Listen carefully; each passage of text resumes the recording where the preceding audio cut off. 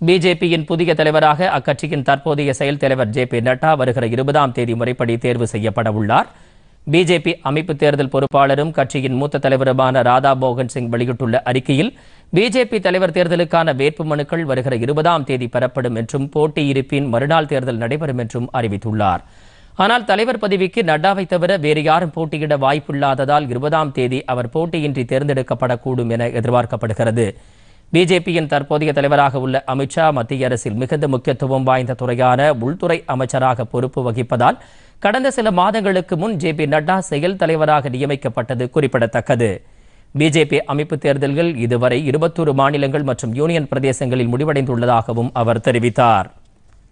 பொதிகை செய்திகளை யூடியூப்பில் தமிழ் நியூஸ் தூர்தர்ஷன் என்ற சேனலிலும் ட்விட்டரில் Tamil news Doordarshan at DD news Chennai என்ற பக்கத்திலும் காணலாம்.